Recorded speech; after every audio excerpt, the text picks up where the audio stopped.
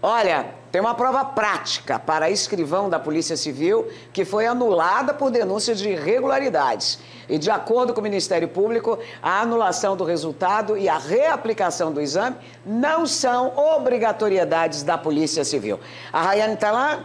Rayane, se não é obrigatoriedade desde quem que é, então? Conta pra gente. Bom dia, Sandra. Essa, essa questão é feita através da Sebrasp, né, que foi a banca que realizou esse concurso público. É, essa decisão dessa anulação foi feita após o Ministério Público ter recebido algumas denúncias de irregularidades que aconteceram no dia da aplicação dessa prova.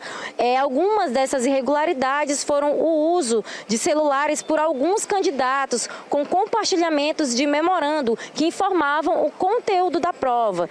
Também foram foram relatados é, atrasos no início da realização do exame, tendo aí um, um atraso de mais de cinco horas.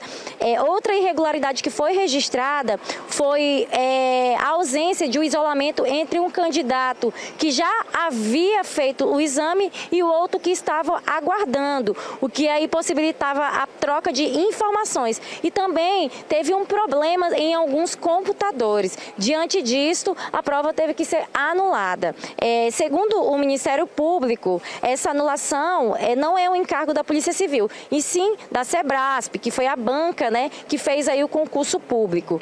É, na quarta-feira, a Sebrasp publicou o edital fazendo aí a divulgação dessa anulação e, de, e reconvocou esses candidatos para a reaplicação da prova, que vai acontecer agora no dia 18 de junho, essa reaplicação dessa prova prática aí para o cargo de escrivão da Polícia Civil.